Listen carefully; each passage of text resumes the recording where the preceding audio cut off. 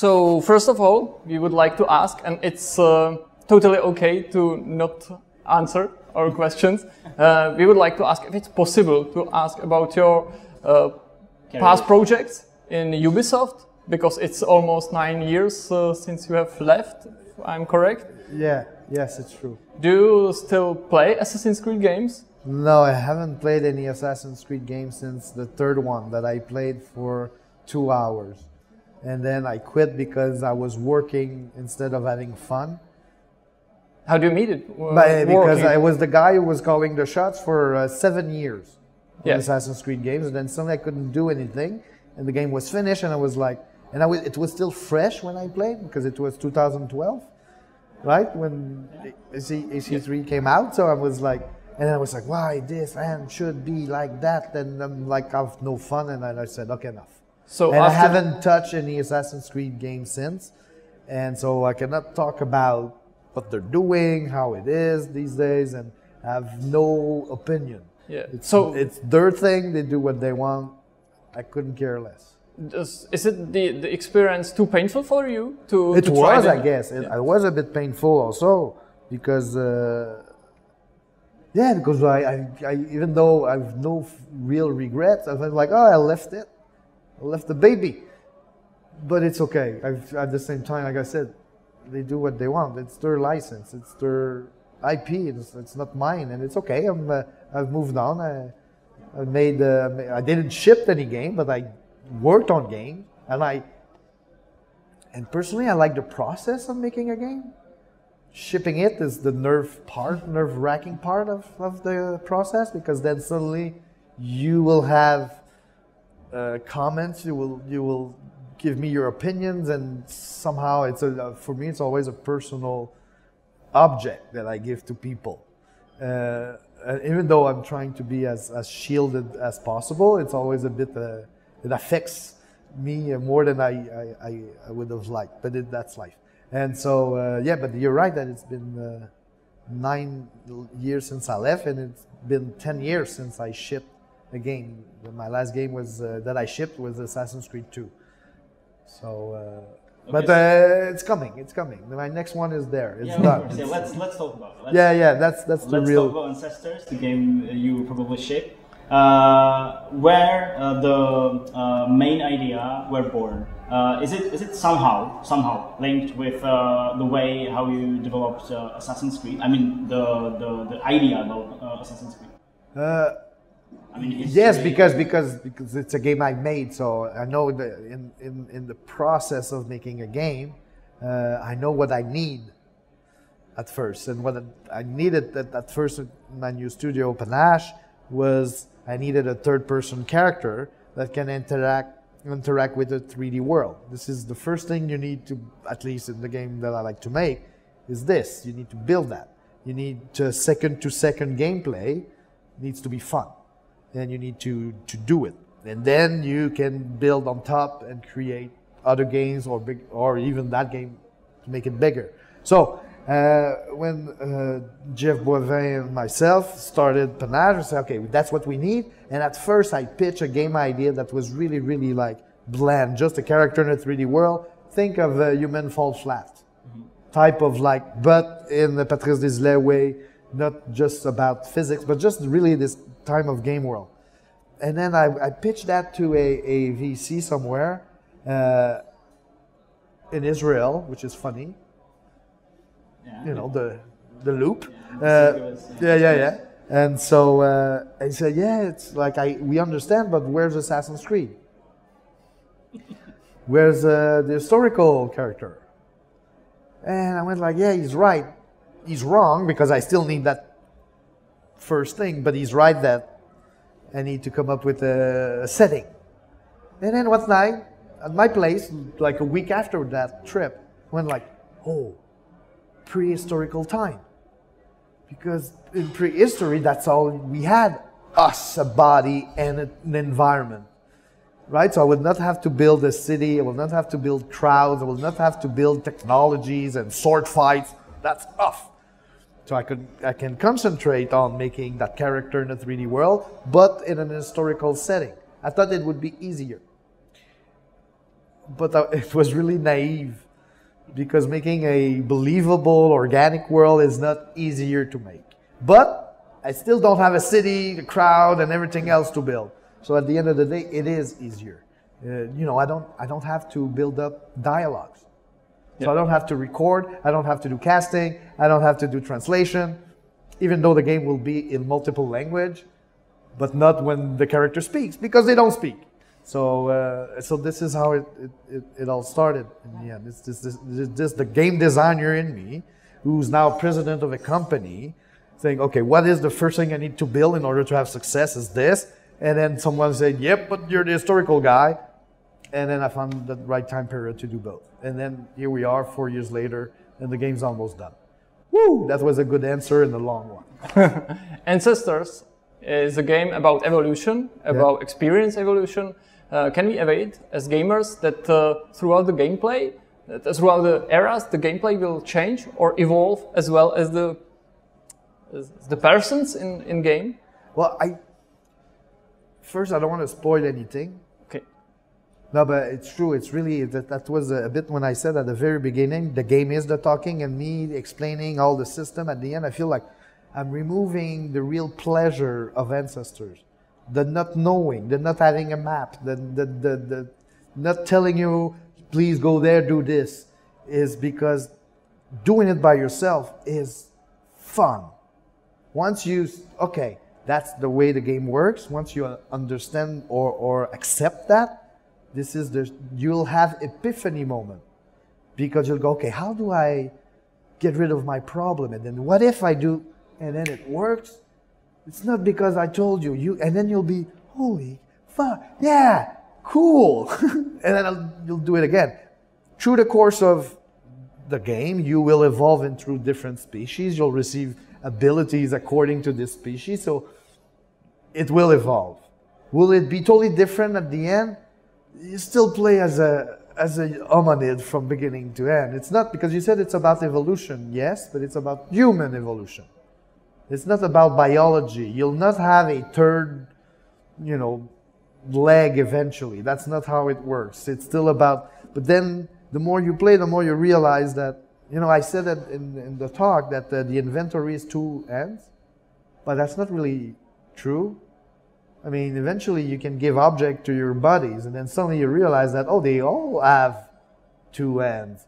So then you multiply your objects in your inventory and blah, blah, blah. And then, but see, now I'm saying too much. Because you would have thought it by yourself, and then someone's like, oh, that's true. i I play a clan. I, did, I didn't switch between characters, and I should have, but you you play one character, but you can switch on the other one, and then also you can develop your communication and say, okay, come here, guys, and then eventually they follow you, and uh, so it's a different. That's different, I guess, but you you can do it from the start, and then you get good good at it. You can actually be really good player of ancestors. not saying it's like a sports game, but it is like a sports game. Not everybody can play FIFA, but some, some people are freakingly good at FIFA. Well, you can be really, really good at Ancestors, more so than my, the game I did in my past. Everybody was the same prince, running on the same wall, doing the same thing because that was the game. And I was asking you, could you, can you go on the other side of that wall, of the hole? Now it's like, it's not clear where is the hole, where's the wall, and even in the control scheme, you have control over the character when he jumps. So hair control. And then you all, and you make decisions. So it's like, it's totally different. And it's not about the, the level design is all organic. Everything is there. But it's up to you to figure it out, not me. I'm not helping you out this time.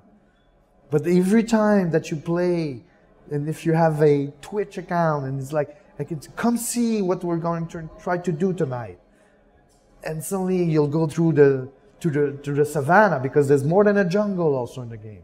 It's about traveling. It's about being curious. It's about being creative. So, yeah. Okay, it sounds almost magical, you know, like. Uh, it is a bit magical. I'm still having a blast playing my game, but again, it's not like at the end of the day you'll be in Ancestors Volume One, sailing and you know having yeah. battles. It's still So you could say, well, it's a bit the same. Yes and no. Because every single moment you'll play that game is a unique moment that nobody have actually played before.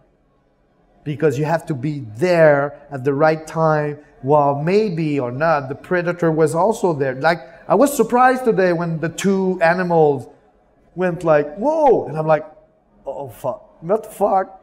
Well, I was not expecting that to happen in front of you, but it happened. And we're kind of like, okay, you didn't know, but there is this system of like infightings between animals, and you can play with it. How difficult it was uh, build such such a game that uh, you can you know experience everything. Not everything. Oh. It's uniqueness that you can experiment. Not everything. Okay. It's not about building a fort at the end of the day. But each time you you it's it'll be your experience and his experience and you can compare and say, "Oh, oh you you went you went left? Oh, sorry. You went left, I went right. I discovered ABC, this thing and this landmark and you said, "No, I went on the other side." And there was this thing over here. Said, oh, maybe I'll go. And then say, oh, no, I got lost. And then suddenly I discovered a lake. and then there was a cave. And then I went into a cave. Ah, I didn't go there at all. And see, and that's the beauty of it. Because you won't know.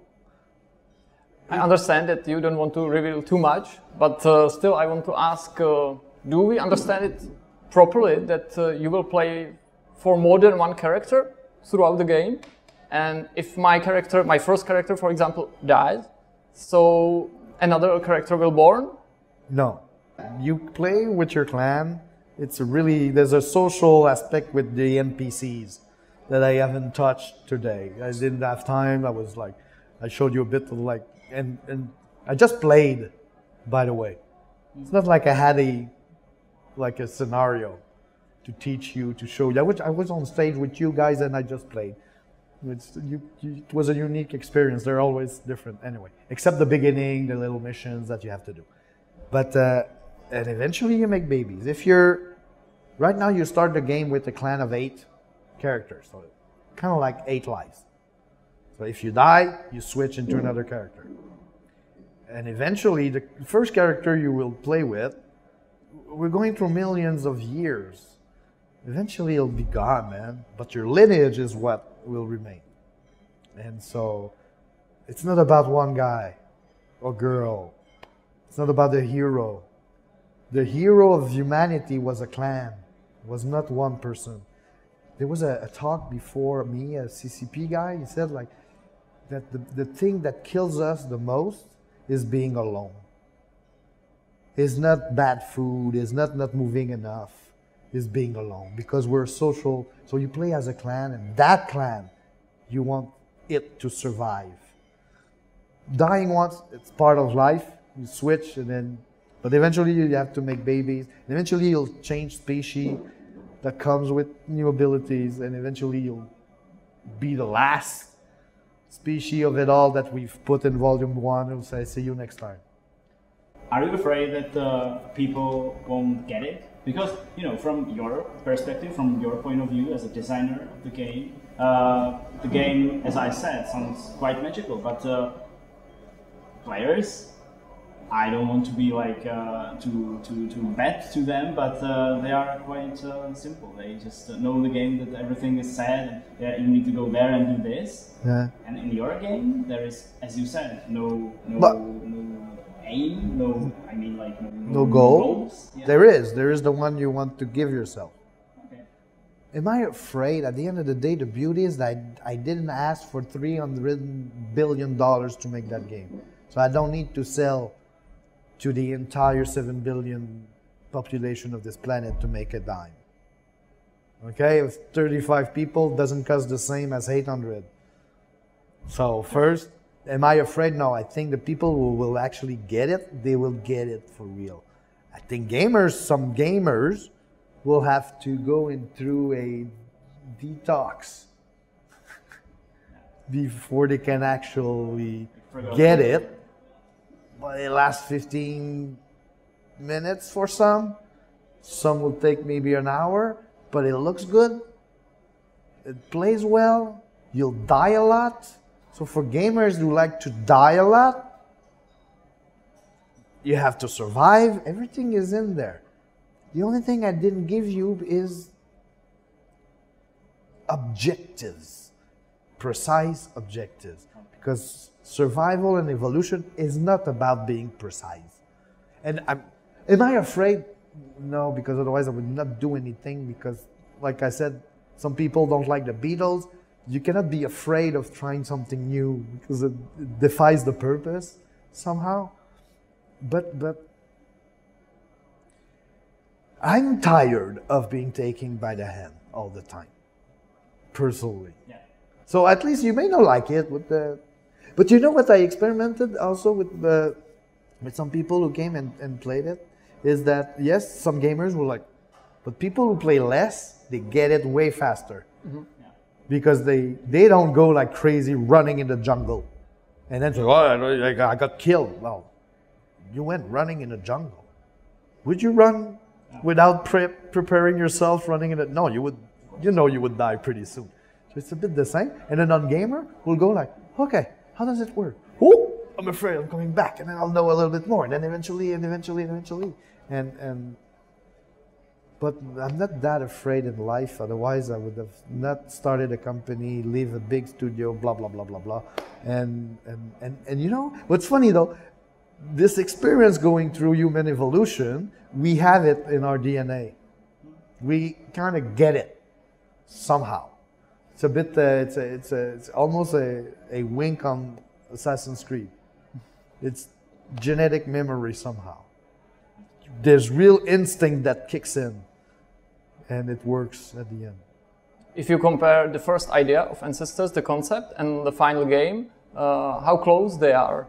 They're, the first design is really not the same, but the first concept, the first idea, the glimpse, it's it's what you saw.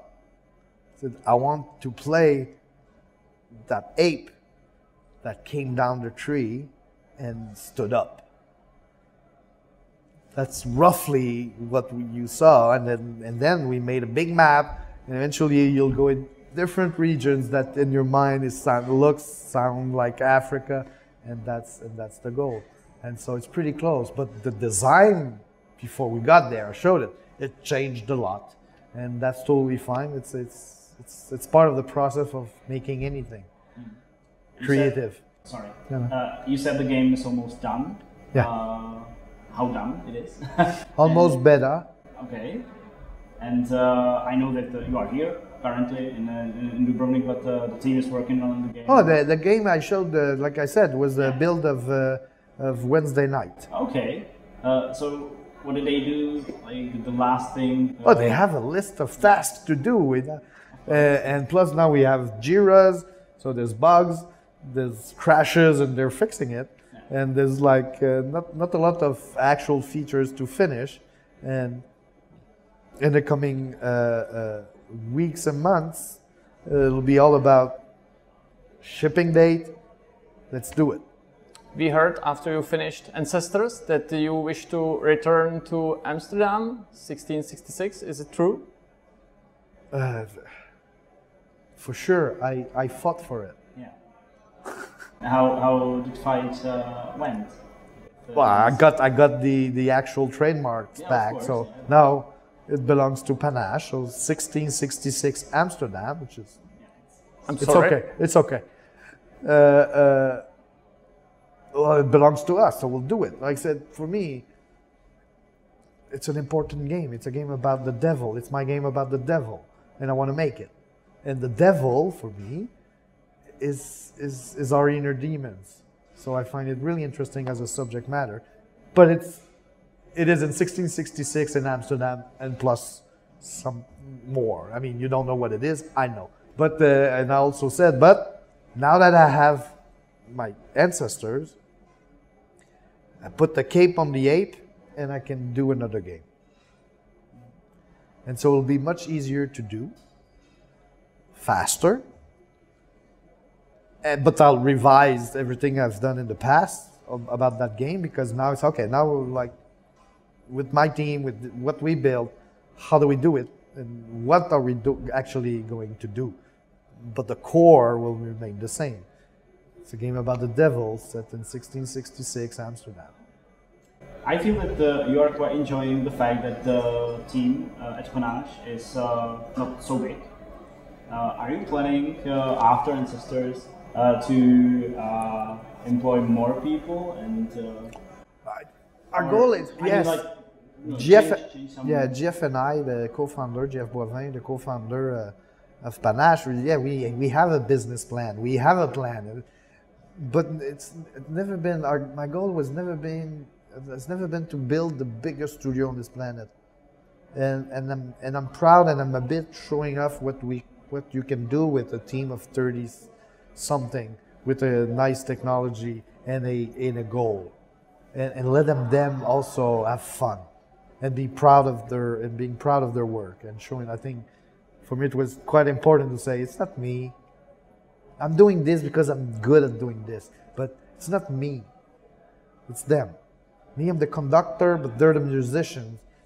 And i design when it's time to design but then you put the pizza in the oven, man, and eventually it cooks and then it's ready, and then you say, oh, here it is. Now they're the one doing the magic. But this is important because then we want to sell some copies to make more money, to make more games. That's it. So, uh, but I like the process of making game. I like to like to make games with my friends. This is what I do. This is what I've been doing since day one in my career. And I'm the fucking luckiest bastard on this planet because I'm here, I'm in Croatia, and I talk and I do games, and even though I'm a bit nervous before going to on stage, there's worse in life than this. I could be working in a mine, that's tough. I could be uh, in an hospital, that's tough. Doing games is not tough. It's hard work, but it's not tough. It's a, it's a pure pleasure. And then I meet people and we talk.